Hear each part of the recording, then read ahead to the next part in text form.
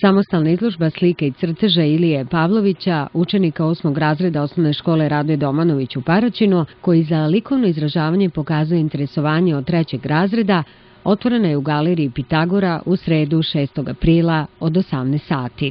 Pre svega želim da se zahvalim mojim drugarima i drugaricama koji su došli na ovu izložbu i time me podržali i želim da se zahvalim mom nasniku Sećku Zdravkoviću koji mi je sve ovo omogućio i mnogim drugim ljudima e, koji, koji su me podržali.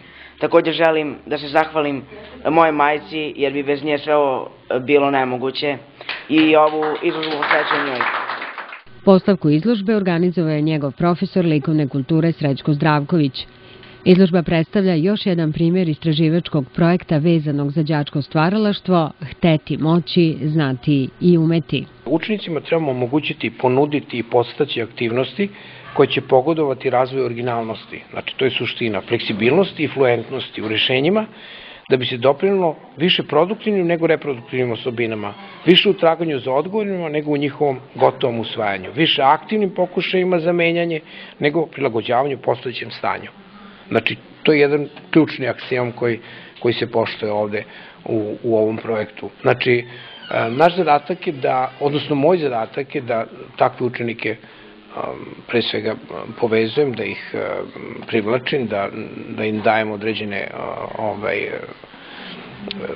neku satis, određenu satisfakciju kako bi mogli da se osjećaju važnim, jer i ova izložba i ovo stvaralaštvo je u stvari pojavlja se kao osobina, kao osobina i stav učenika.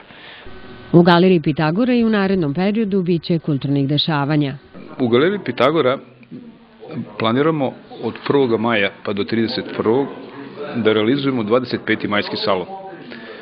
O, oni koji prate naš rad znaju da je to tradicionalna multimedijalna manifestacija, znači već 25 godina praktično postoji, najstarija posle Sisevačke kolonije u ovom gradu.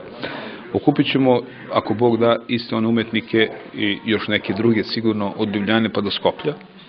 U ambijentu te izložbe organizovat ćemo puno beseda, književnih večeri, vidjet ćete. E, jako bogat program, biće tu i koncerata, biće projekcija nekih zanimljivih dokumentarnih filmova i tako.